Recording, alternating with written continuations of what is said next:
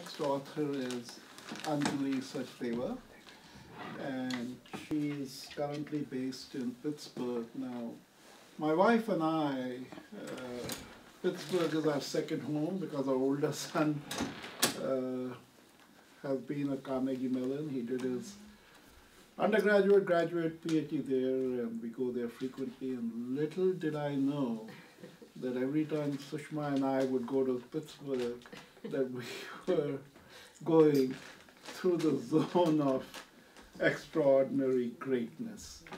Uh, I have to tell you, when you see the praise that Anjali's debutante novel has received, it is peerless, beyond compare. And uh, the shocking thing to me is that she's totally unknown in the Indian community. Nobody in the Indian community knows that she even exists. And I think it's in some way, I'm sort of uh, patting IAAC on the back that uh, we have in Anjali a great find, a discovery, because she existed before we found her. But in the children's lit side, we have Veera. I mean, Veera is a 2019 Newbery Award winner that nobody in the Indian community knows. So, to the degree there are some board members here of IAAC, I think we are, you know, playing a very useful role. And Lavina, who's with the press, will, I'm sure, note this that there are absolute jewels that are shining. So let me just make one comment and then I will turn it over to Anjali and then I'll come back with more in-depth questions. She ends her introduction. Uh, welcome, Dr. Mattoo. He's the chairman of IAAC. Uh, she ends her introduction to this extraordinary novel, a veritable tour de force, with, a, with this sentence Wonder and terror meet at the horizon, and we walk the knife edge between them. So, with that, Anjali, why don't keep you take us through your collection of stories and then I'll come back Okay. and have So- a few. Very good. So thank you so much for um, for having me here. I'm really pleased to be here. Um, I just wanted to talk, start out by talking a little bit about the book um, and how it was written, and um, and then I'll read from a couple of the stories, and then I'll be happy to answer questions. So, um, as as Rakesh was saying, um, I think this book hasn't hasn't been big in the Indian community, partly because it's not about India or being Indian. And it was really interesting when I was uh, I was upstairs listening to Veera's talk about the Night Diary, um, and we share a similar background. Where my father's Indian, my mother's um, white American, and so I've always grown up kind of between you know like between two cultures. Definitely had a lot of Indian culture in my life, but also had these other cultural influences. Um, and uh, so I was saying before the talk started, I, I feel like when I'm writing some of these characters, I'm picturing them one, one way in my head, and the reader may be picturing them a different way. But when the book was first reviewed, um, there was one Indian journalist who was interviewing me, and she said, "But none of your characters are Indian." And I thought, ah.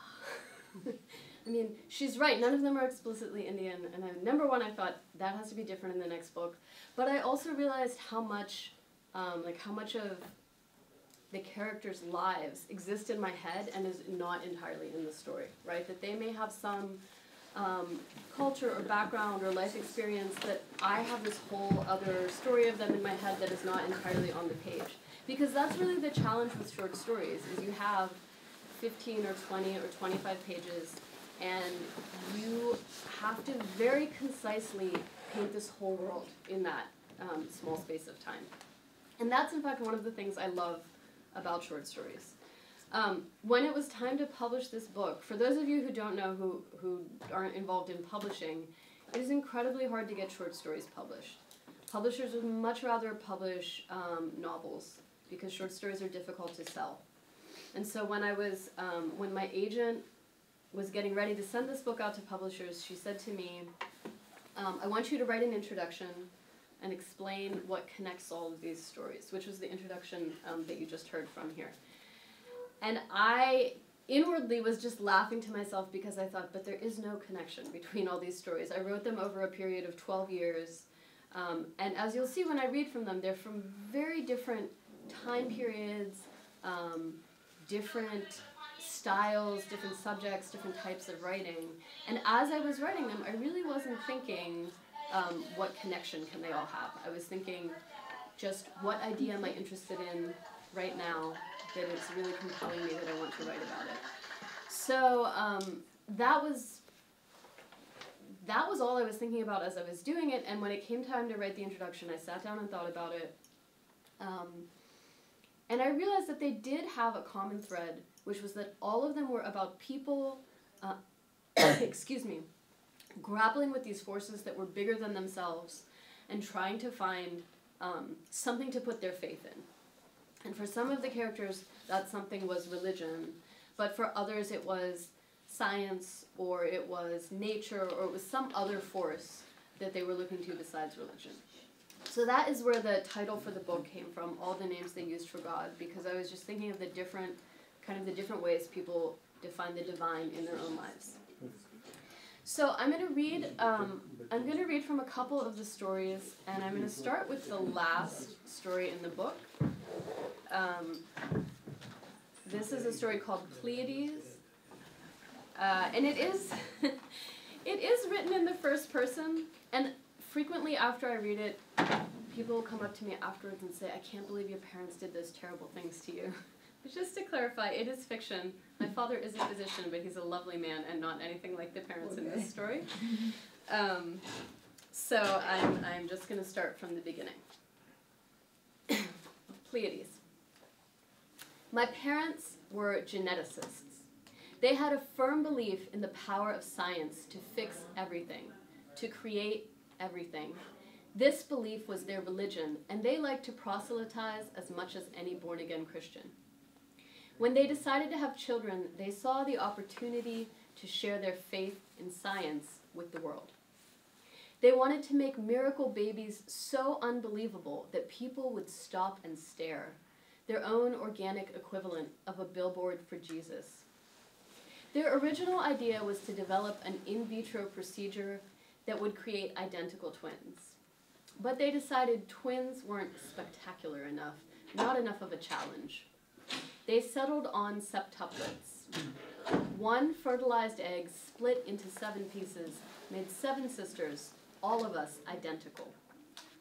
Pleiades, my father used to call us, after the constellation of seven stars. All the major networks were shooting footage at the hospital the day we were born. Protesters traveled from around the country to Los Angeles so they could picket outside with signs that said, Seven Deadly Sins and Frankenstein's Children. Even the doctors who delivered us expected us to come out with birth defects. Half a dozen neonatal specialists were standing by. But they weren't needed. We were small, about two pounds each, but other than that, my mother says, we were perfect. Our lungs, our hearts, our brain activity were measured and found to be normal. We all had a wisp of dark hair at the front of our foreheads and eyes that would turn from blue to brown. My parents didn't want rhyming names or alliterative names, but they liked to show off their knowledge of Greek. And so we were Leda, Io, Zoe, Helen, Cassandra, Vesta, and me, Adelpha, called Del. In the magazine photographs, my mother and father glow with a mixture of parental pride and professional elation. Without scientific interference, identical twins account for one in every 250 live births. Identical triplets, one in 2 million. Fraternal septuplets, one in every 4 million. And my sisters and I just couldn't exist. Hmm. But science made us, and there we were, pink skinned and button nosed, each swaddled in her own colored blanket red, orange, yellow, green, blue, indigo, purple, a wriggling, blinking rainbow. The tabloids ran headlines like, Forced septuplets really alien babies, and test tube septs share one brain. After our first birthday, the publicity died down, although reporters came around now and then, hoping to do follow up stories. In the scientific community, our celebrity never waned. Throughout our childhood, we took trips to visit scientists whom our parents referred to as our aunts and uncles. These people smiled at us and sometimes gave us hugs like real relatives, but they also liked to look at our skin cells under microscopes or watch us play together through two way mirrors.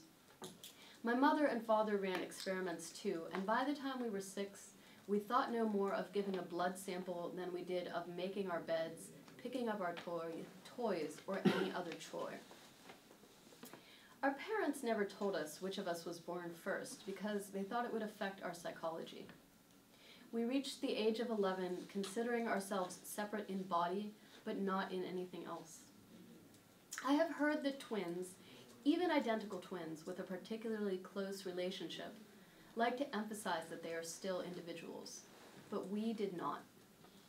There's an old home video of us on the beach eight or nine years old and wearing matching gold spangled swimsuits.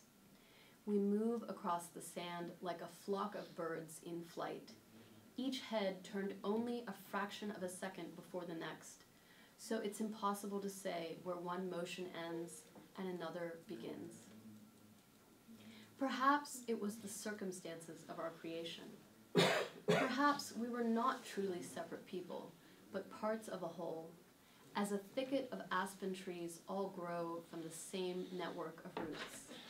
And even now, maybe it is no different. You were so easy, really, my mother said to me a few years ago in tearful nostalgia. You all liked peas, you all hated carrots. No one would use the pink crayons. Who knows what would have happened if we had reached high school together, been forced to deal with romances and social intrigues, and the possibility of attending different colleges. Perhaps we would have simply refused to be parted, clung together like a cluster of ladybugs in winter. Or maybe we would have adjusted, moved apart and away from another. But I doubt it. We were 11 years old, doing a jigsaw puzzle on the living room floor of our beach house in Santa Cruz. Vesta set a corner piece in its place, put her hand to the side of her head, and said she had a headache. We all looked at her and groaned. Headaches had a way of catching among us, even though our mother tried to tell us that was impossible. A few minutes later, Vesta shook her head and complained again, and then she fainted, we thought. But we had a horrible, clenched feeling in our bodies. Leda put her hands on Vesta's cheeks, and Vesta didn't even flinch. We all went screaming for my mother. At the hospital, they said my sister had had a brain aneurysm, that she was dead. We wanted to argue, but we knew it was true. We could feel it. That night, we all slept piled on the floor of our bedroom, holding on to one another's wrists and calves and hair, terrified of losing one another. For months after that, we felt sick, but we thought it was just sadness. We didn't know yet that for us, there was no th- such thing as just sadness, that our grief had a life of its own, an invisible mouth like a black hole that drew us inexorably closer.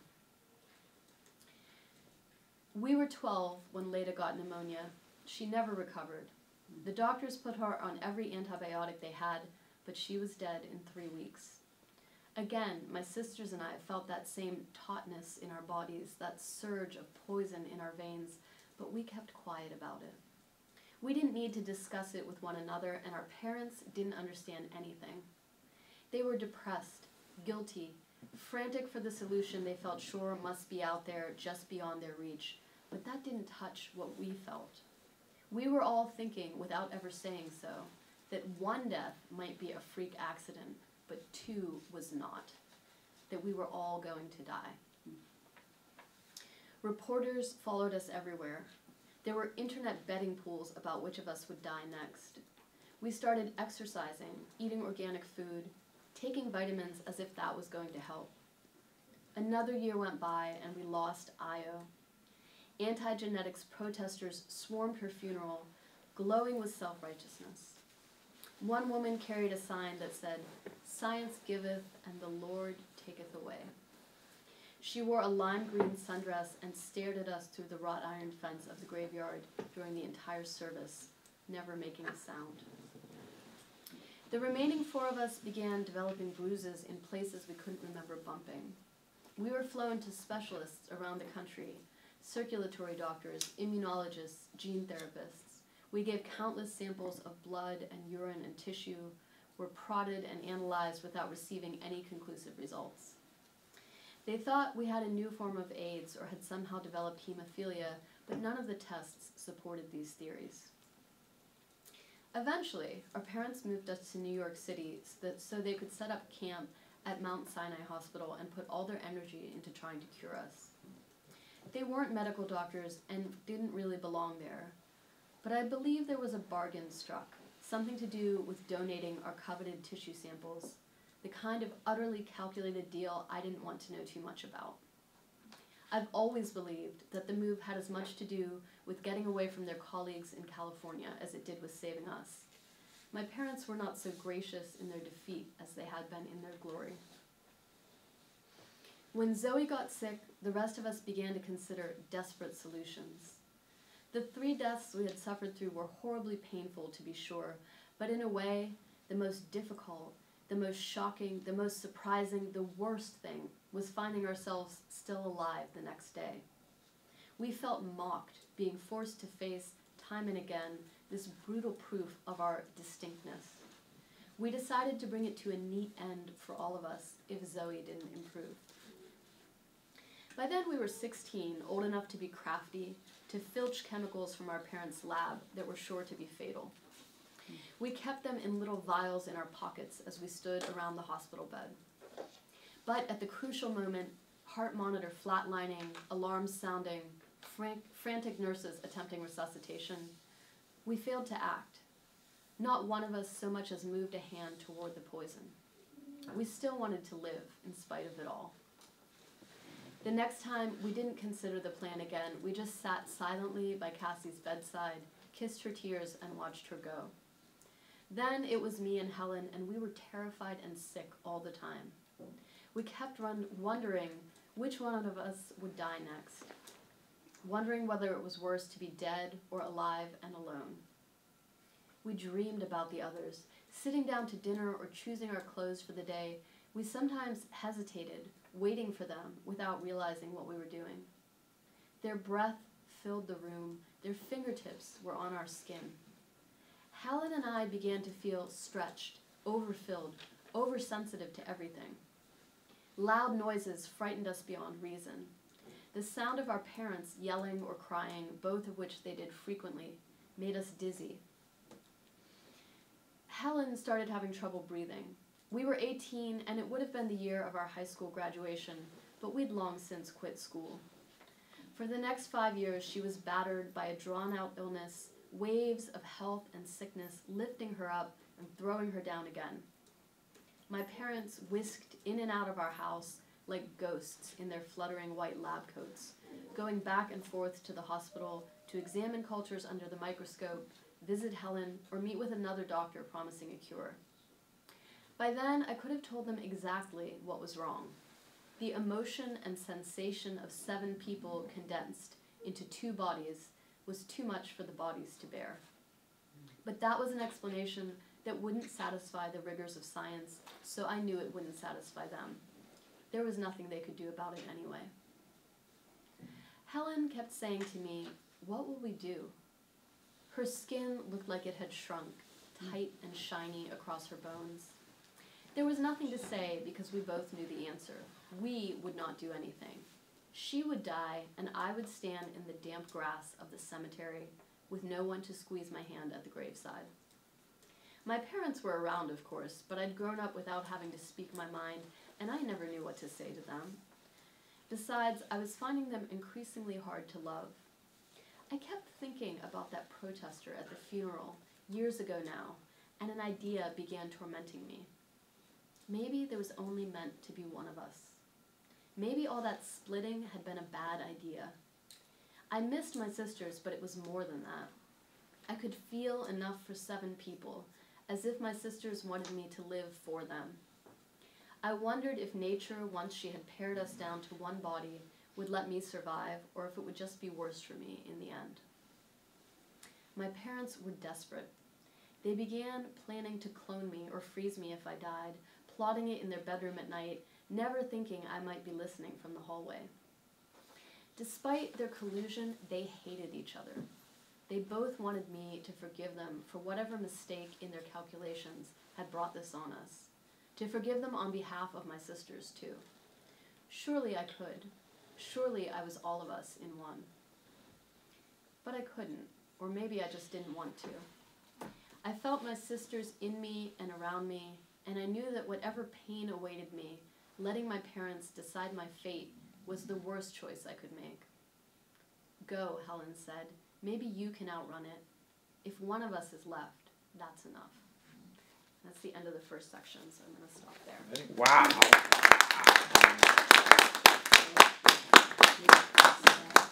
So, one of the interesting things to me about this story is I wrote it in maybe 2005 or 2006. And at the time, I feel like it was pure science fiction. And now I feel like this could be happening down the street somewhere. Like, it's amazing to me um, the speed at which science moves. Um, and sometimes when I read this story, people say, oh, you must be, like, you must really um, have strong feelings against science. And in fact, Yeah. it's quite the opposite. I love science and I love reading um, articles about kind of cutting edge scientific discoveries. But number one, so a lot of these stories have kind of a magical thread or a magical element to them. And often when I'm reading these um, studies about really advanced science, it seems to me almost indistinguishable from magic. Like there's such incredible things being done at the um, you know the the leading edge of scientific discovery. So I um, a few years ago I was teaching engineers um, how to write, which was its own challenge. Um, Technical and uh, although uh, sorry, I should say my brother's here, who's an engineer and an excellent writer. So I should, shouldn't say this about all engineers, but the ones that I was teaching. Um, and but one of their assignments was to write about what is their favorite development in engineering. And one of them was writing about um, 3D printing organs, which at the time I did not know was a thing going on out there in the world. And just that concept to me of like that you could turn on a machine and print out a heart or a liver or a lung was so magical to me. And obviously that's not a technology that has been perfected at this point, but that it's even as a possibility is so fascinating to me. And it's the sort of thing that I could imagine that you put it in a story now and 10 or 15 years from now it's just utterly commonplace and there's nothing magical about it at all. So I'm very interested in that, that aspect of um, the interplay between science and belief and um, the way that things move from the magical to the mundane over time is very interesting to me. Um, let me see how we're doing. I have, on c- the I have a couple of questions. Yes, One sure. is, uh, why did you pick up seven kids, not six or five? Is there anything behind that? so, do you want to do, Yeah, give me do your, it. your, Yeah, yeah, go ahead. Uh, There is a, there is a, they are writing about the seven kid thing and they're like, right now there's a true story about them. Oh, is that In right? papers, yeah. So this, I, I have not seen that true story. so let's pick up on the question of Dr. Mattoo. And I have another question. Let's, that, that one's a good one to start with, Yeah. Dr. Mattoo. And I, I do want to do a shout out to Sri Srinivasan. And Sri, it's great to have you here. If you want, you can come in No. I'm Okay. comfortable here. So you mentioned that you don't have Indian themes yet in your writing, mm. but here's the question. The Pleiades, the title of your Yes. story in India, that's the Kritikas, the Yes. seven sisters.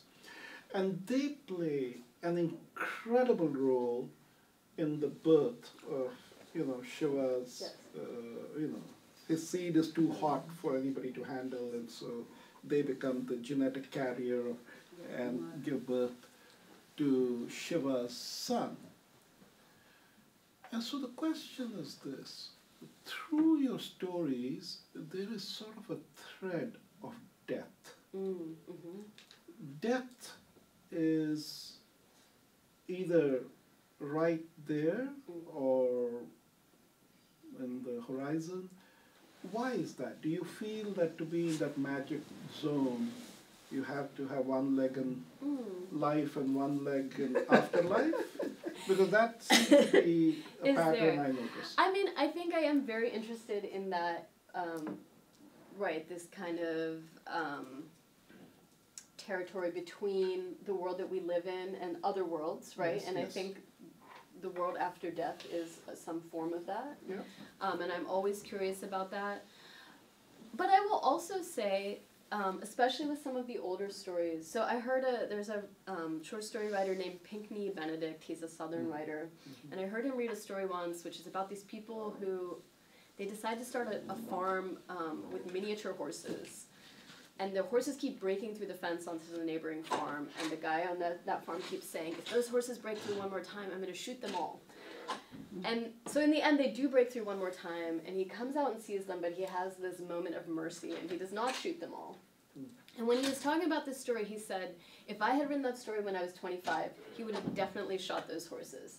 Because I think there is a um, just an undeniable tension and dramatic drive that you get from dealing with a life and death conflict, right? Um, that is that is hard to create in other ways. So partly, I think it was that that especially when I was writing the earlier stories, I was still like when I was when I wanted something really um, high stakes, I would go, okay, somebody No. somebody has to be in mortal peril here. Um, so I think that comes into it too. But I do I do um, I think also when people are in those extremely tense situations is when they tend to. It- it's it's a time when people tend to have really intense realizations about themselves, and that also makes for interesting fiction. I want to cover a few more stories for the audience here, but Dr. Mattoo, your second question? I, I had a serious question, Yeah, yeah. and I wasn't answered, so. Salmon. I didn't- Please. Anyway, second, I can Significant of salmon. And, Oh. and my other question is that uh, whenever we write something, most of the writers, I can read the books and I can tell this is the same author Mm-mm. because the style of writing and Yeah. The writer comes through Yes. in the books. Uh, even though you you have said that uh, there is nothing to do with your faith or religion about this uh, trying to interfere with procreation by scientists. Yes. Are you sure about that? Or- Oh. Or, or, or Certainly, certainly, it is impossible to write a book without your own feelings and Right. beliefs coming through. And certainly, I am deeply interested in science, but I also have, I think, a healthy skepticism about it. Which is just to say, just because you have the scientific ability to do something doesn't mean that you should do it, right? And scientists acknowledge that. You know, there, there's plenty of, um, you know, boards of ethics and what have you in science, especially in the area of genetics and cloning. There are plenty of things that we have the capacity to do that, at least in the United States, we do not do. Um, no, like- I'm a physician, so Yeah. I, mean, I, no, no. listen. So So, so in that sense, I think my um, my kind of concern about where some scientific discoveries may lead us comes through in the story. But I only want to say it's not that I don't believe in science. I'm a huge supporter of science.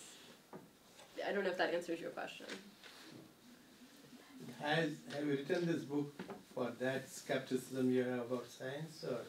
No. And I, I would say this is the only story that takes that approach. Ah. Yeah, the other stories are much different. So let's move to the, uh, uh, I mean, uh, I'll only cover a few. So I think Ernest Hemingway won the Nobel Prize for The Old Man and the Sea. Don't waste your time on that. Read Anjali's Robert Greenman and the Mermaid. So, pretty much the same plot. Uh, there's this guy, he goes fishing in a trawler with other people. There's a shark. And then there's the Anjali Sachdeva twist. There is a mermaid in that story. What an amazing story it is. So profound, deeper than the ocean that he's in. And so I think in the Old Man and the Sea, we know the spiritual seeking that the old man is doing, even though he's going after the whale. There's a quest there, which is why he, I think the writer got prize. I'm curious in your story, what did this mermaid represent to Robert? Mm. So in this story, Robert Greenman is a he's a fisherman. He's a commercial fisherman, um, and and the I think the his main defining characteristic is he's just a very practical person, a very down to earth, um, kind of normal person, and he goes out on this trip. Um, he can't sleep. He's out on the deck of the ship in the middle of the night, and he sees this mermaid, and he becomes sort of obsessed with her. Um, and I wanted to make it clear that the mermaid is not, like in this traditional sense, beautiful. She's kind of fishy looking. It's not that like, wow, she's gorgeous and I want to meet this gorgeous, you know, mer person. Um, but it's more that he, um, he just is obsessed because she's this magical creature. And I think partly I wanted to think about, um, you know, so I read a lot of um, mag- you know, writing with magical edge to it. And so often in that, magical things happen, and people just approach it as though, oh, of course, you know, this whatever it is, this thing happened. And I wanted to think a little bit about if you were a very normal, practical person, and something magical really did happen in your life, what, how would it affect you? Um, and I thought that it, it would probably be a very destructive thing for some people. You know, if you just can't um, come to accept it, or if you um, you know, it's so different from what has been part of your life so far. Uh, I think it could become sort of an unhealthy obsession, and that was part of what I wanted to explore in that story. But here's the interesting twist you put into it. Uh, this mermaid, this magical uh, manifestation, has a certain impact on Robert. Yet his that younger boy who's on the Yes. trawler, Yeah. he too sees the mermaid, Yes. and he's just left. So, uh, are you implying that for magic to happen in your life, you have to have some receptivity? Because clearly the younger boy, Yes. "Ooh, it's a mermaid, no big deal. yes. And he harpoons the shark. So, Yes. so I'm curious, what else were you trying to suggest there? Yes, because right, because he's a person. So there's this younger man um, who's who's out on the ship, and he's very from the beginning. He's always like reciting poetry and um, looking at the stars, and he is in this very um, much more open frame of mind. And so yes, when he sees the mermaid, he's excited. It's not that he's just like oh a mermaid, but he's he's excited. He's moved by it. But it's as though he's been waiting his whole life for something like this to happen, and it's finally happened, and he's just thrilled. Whereas Robert um, it's it's more of a it's more it's simultaneously compelling and upsetting to him. And so yeah, I was thinking about that right, the different ways that people react to kind of magic in their lives, um, and how not just magic, but I think how being having your mind be completely closed to any particular type of thinking is a dangerous thing. Let's move to another story, and the title of the story uh, is Killer of Kings. Yes. So, to begin with, it's a very intriguing title. The character is the principal character is John, and John's magic is that there is a muse that appears in his life that directs him to write and the muse is a female angel. And there are two things that I'd like to have Anjali touch on. One is a very remarkable episode of a schoolboy who John notices when he was young, and the schoolboy's name is Reed. He's actually the butcher's son. And the only reason he's in school is that some philanthropist said, okay, I'll pay for your son's education. And this boy, instead of listening to his teacher, is gazing out of the window because this incredible hawk has just landed on the tree outside the window. The teacher sees that the student is not paying attention to him, so he says, Come over, he canes. Boy doesn't care. As he walks out, his eyes are still looking at the window, and he's rewarded by this magnificent sight of the hawk spreading its wings and flying away. That's the vignette. But here is how Anjali describes it. A boy who cares more for the freedom to direct his gaze. Mm-hmm. And then goes on. Now, this sentence is very related to a very powerful concept we have in India called drishti. Drishti meaning the ability to see. And the seeing, the power of seeing, is the power to manifest the future. So it's very, without maybe subconsciously. So let, before I go to my next question on it, what were you trying to convey out of that little episode that John remembers about Reed? What and the sentence, this incredibly powerful sentence, I'll repeat it again.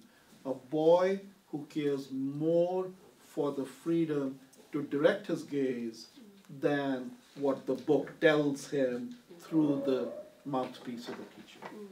So I'm thinking of a few different things Yeah. there. Partly, I am a teacher, Okay? and so I'm always conscious, or I maybe should say self-conscious when I'm teaching of, um, like, is whatever I'm teaching the best use of my students' time, right? Um, sometimes they're definitely looking out the window. More often, they're looking at their phones. I hope that I'm more interesting than their phones, but I guess apparently not sometimes, right? So.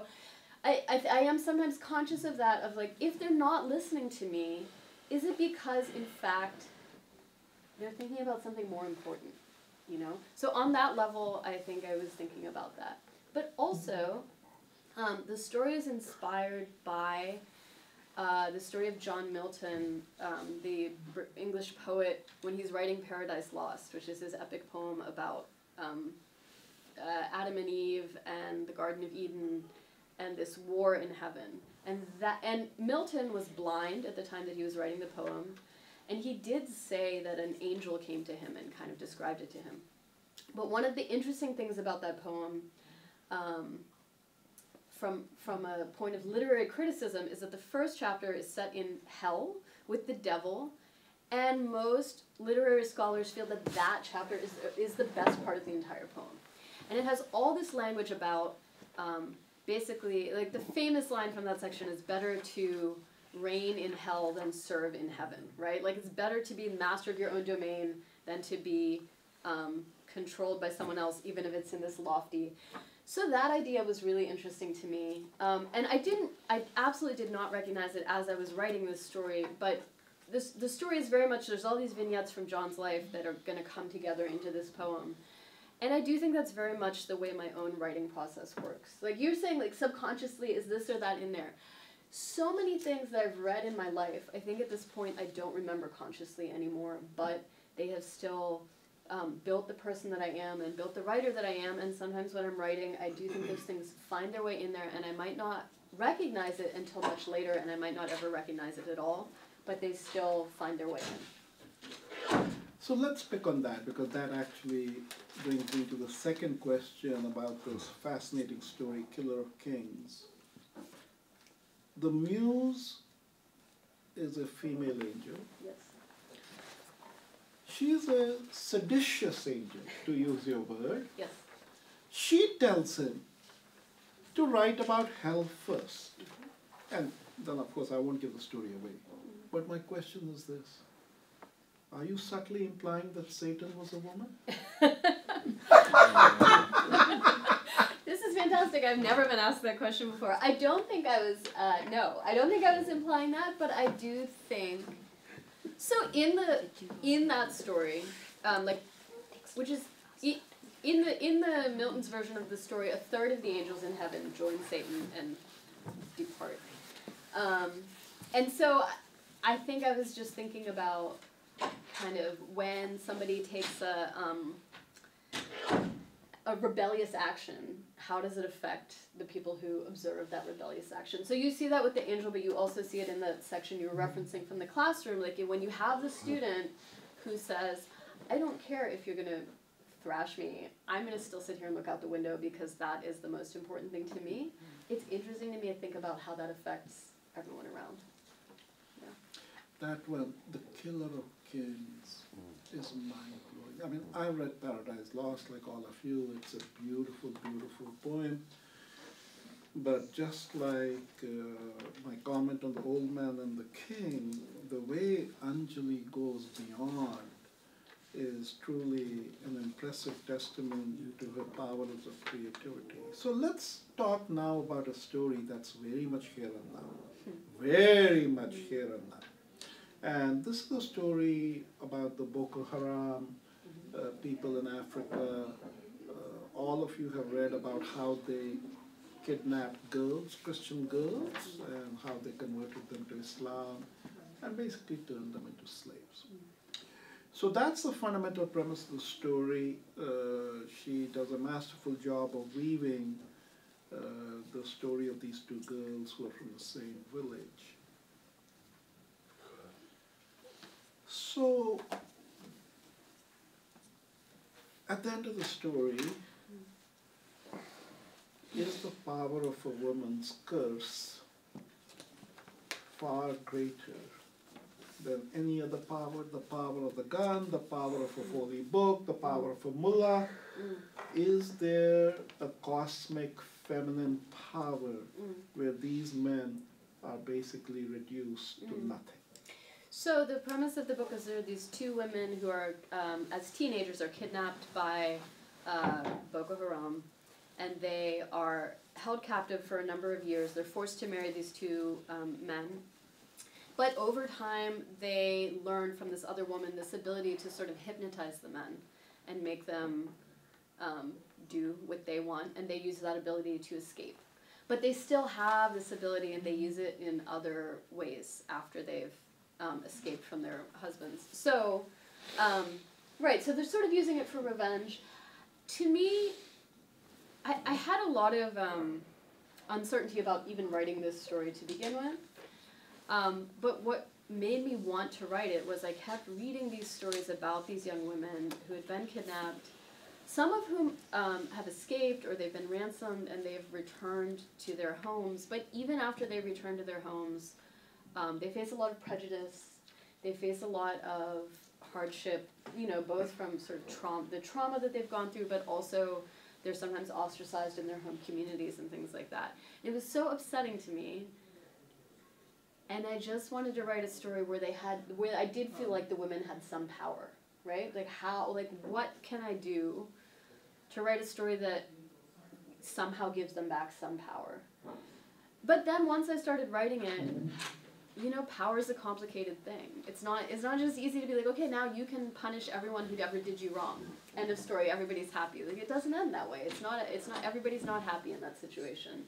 And I was really thinking about what would it be like to have the ability to punish the people who had hurt you so badly, um, and what would what would be some of the unforeseen consequences of that. So I don't know that it's that, that their power overrides everything as much as, but I wanted those women to have some power in this story. That was the impetus for writing the story. I just wanted to give everybody a flavor of some of her stories because you haven't had a chance to read it. But I would encourage you to ask general questions. Nirmalji, go ahead. So, uh, you are comfortable with the concept of revenge? Oh yeah. You are. I mean, So in my doesn't own it life. reduce you to the same person who did wrong to you? The same. Oh, do do I think it's right? No, I mean I think at the end of the story, that's in fact what she is. I have not read it. No, no, I know. At the end of the story, that's kind of what she's asking herself: is is it right to do this? You know, like someone has done this awful thing to you, and initially you feel like all I want to do is have revenge, but there comes a point where revenge is not satisfying, and you yourself begin to become the same type of monster that you're Right. trying to, you know. Because you are upset with the person for doing something that you want to do to the person. Mm. Yes. It's the the Right. same thing then. Yes, and I definitely think these characters come to that um, moment.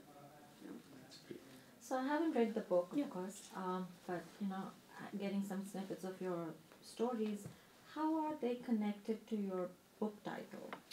Yeah, so the title, um, so that that story that we're just talking about, the Boko Haram story, is um, this is also the title of that story. And within the story, it's because they are, um, when the girls are kidnapped and they're in the camp with Boko Haram, and one of the things they make all the women do is recite the 99 names of God um, as a as part of forcing them to convert, but also just as a sort of I don't know thing to show their power over them.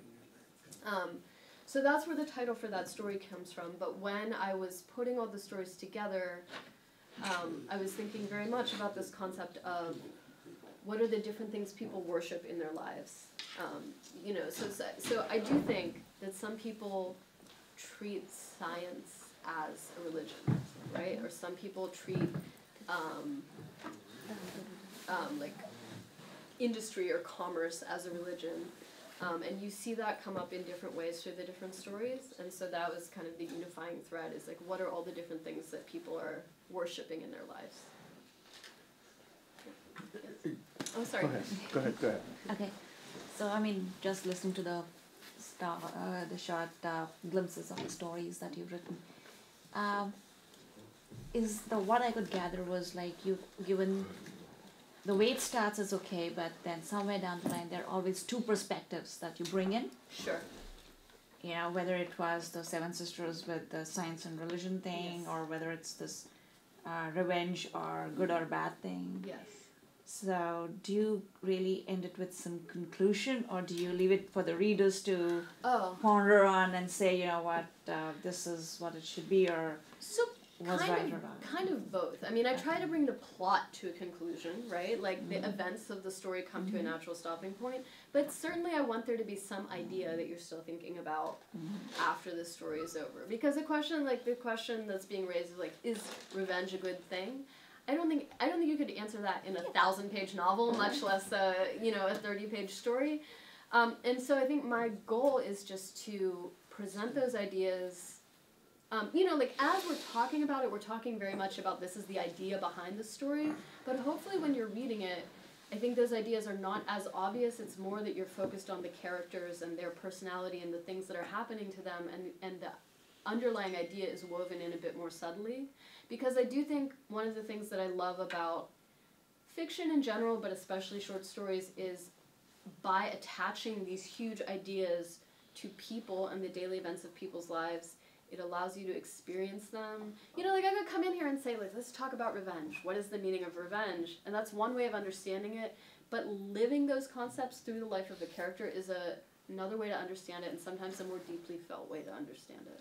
Yeah, because it was like more uh, these conflicts that we have, you know, Yeah. science versus religion, revenge, good or bad, Yeah.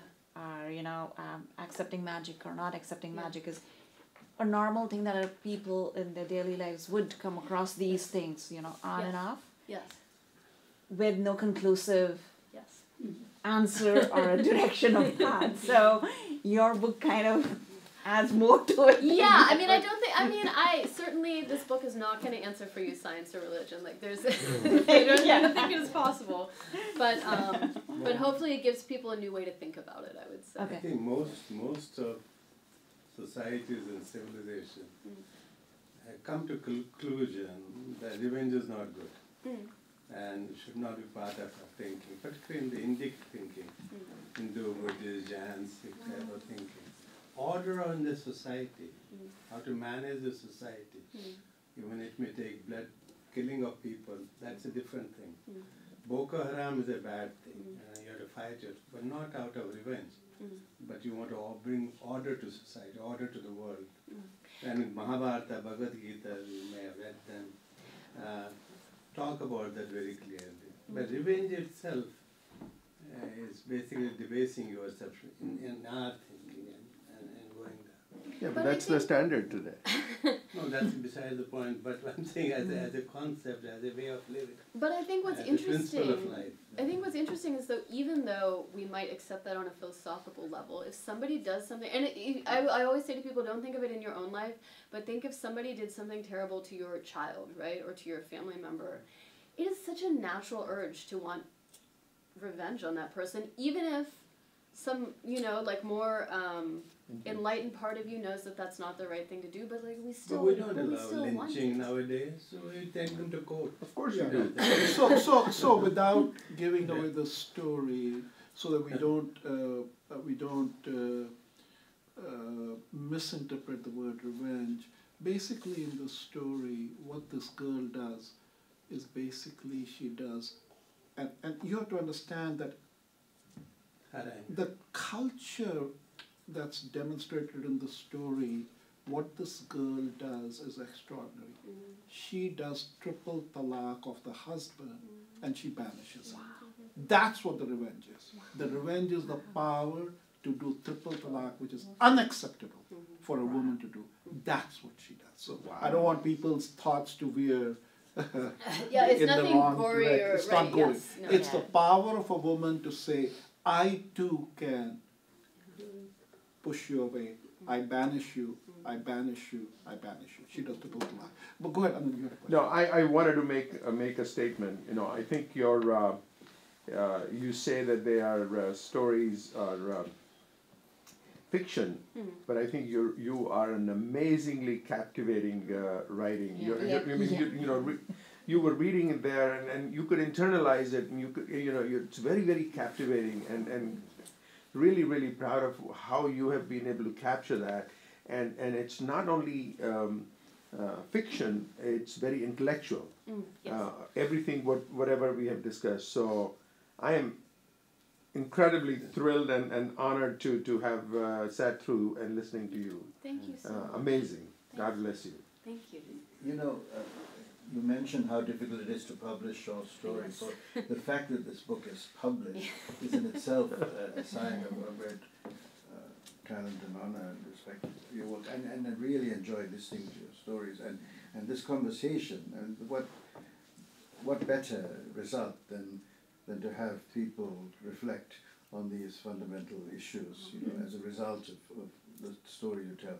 I'm curious about poetry and, and, and short fiction because you, you write about Milton and, and so on. Um, and the story, the narrative, as opposed to the poem, or, or, or the poems, just if you could just reflect on, uh, I'm just curious if you've also written poetry. And just- And the second question, whether you could just comment, to ask you to reflect on telling stories Mm. through short stories or telling stories through poems. Mm. Uh, is narrative necessarily a separate category than the Mm. poem, or, or, or are they malleable and just because of think out loud on those issues? So I've not written poetry. Um, and maybe I should say I've not published poetry. I've had some attempts, you know, like in my secret books that nobody ever sees.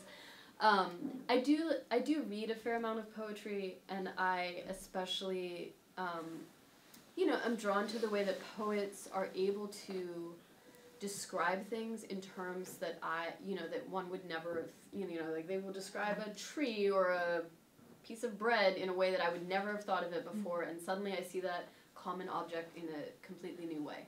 So I love that absolutely, um, and I do try to bring some element of that into my writing in terms of the um, like metaphorical, descriptive thing passages in here. Um, I do always tend to be more drawn to things that are narrative based. So even so, there's plenty of poetry that is not narrative poetry, but I tend to love poetry that has some narrative thread to it that I can identify. Um, there's a famous uh, psych study from I want to say the 1950s, I think, where they showed people this video of two um, two triangles and a circle moving around a screen. Um, it's this, you can watch it on YouTube. It's just this old black and white video. Triangles move around, circles move around. The triangles kind of bump into each other and bump into the circle and move around the screen. And then they ask people, "What was this video about?"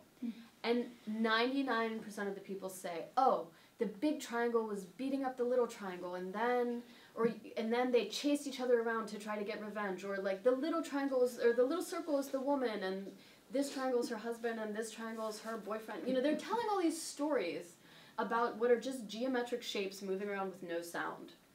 And then one percent of people they'll say what happened in the video and they'll say, Oh, there was a big triangle and a small triangle, they moved up and down. They describe it in purely descriptive geometric terms.